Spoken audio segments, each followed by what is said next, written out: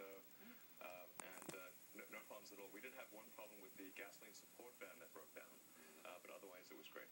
So there've been lots of reports, and you've had to deal with this uh, and are trying to deal with it about fires. And I mean, I assume that has to do with batteries. Uh, and what are you doing to make sure that the Yeah. perception Sure. is that Teslas are not safe? Yeah, absolutely. Well, uh, with respect to the fires, it's worth noting that um, all, all cars have some propensity to catch on fire, um, but our car is, is eight times less likely than a gasoline car. So it's, it's, it's important to appreciate that no car is, is, is completely fireproof.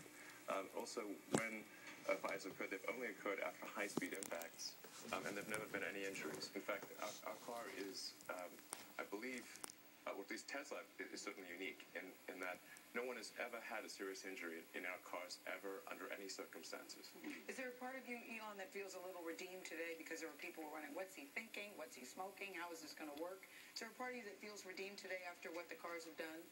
Um, I, I do. I think this is this is an important uh, historic milestone uh, to be able to travel across the country essentially as conveniently as one could do with a gasoline car. Um, and it's it's worth perhaps just saying, saying a bit about what our goal is with the superchargers. The superchargers are actually free to use forever for, for Tesla customers. So our goal is to provide free long distance travel throughout the country forever. And we're putting solar panels over the supercharger stations. So the basic idea is to be able to travel for, for free forever uh, on pure sunlight.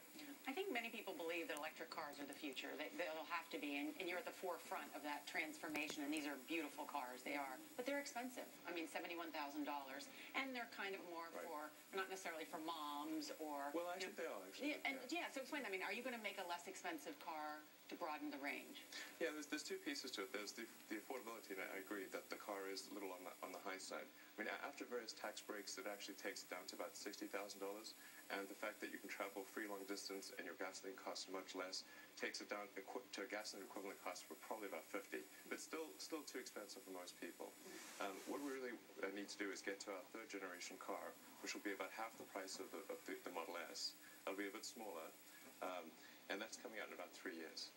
You, Um, re- you you want to- recently tweeted, though, uh, we were in there with your kids, five boys, which I Yeah. know is a lot of Right. activity, It that is. you're looking forward to a road trip with your wife and your five boys That's in the right. car. Yeah. What is the secret to how that's going to go? Well, um, if, if anyone's Five cars. Yes, yeah, Right. that's right. Um, well, uh, so as preparation, we, we did watch uh, National Lampoon's Vacation yes,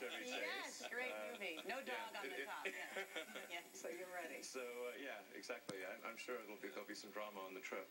Um, but but the, the, the Model S uh, is the only sedan that actually can take seven people.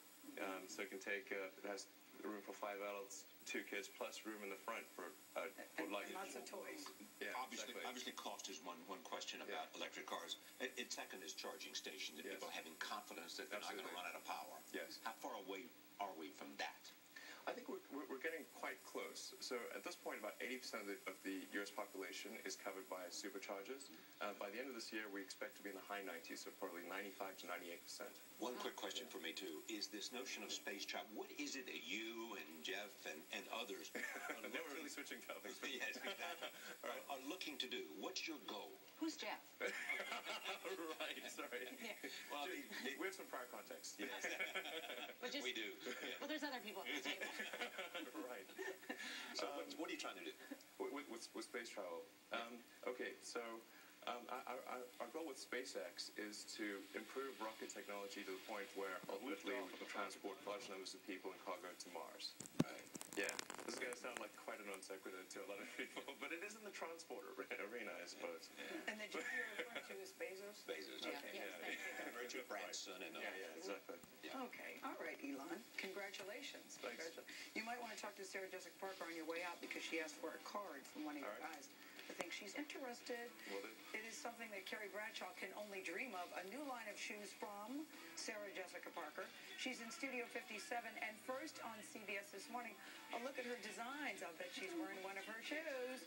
Plus the chance of one more Sex in the City reunion. But she's on CBS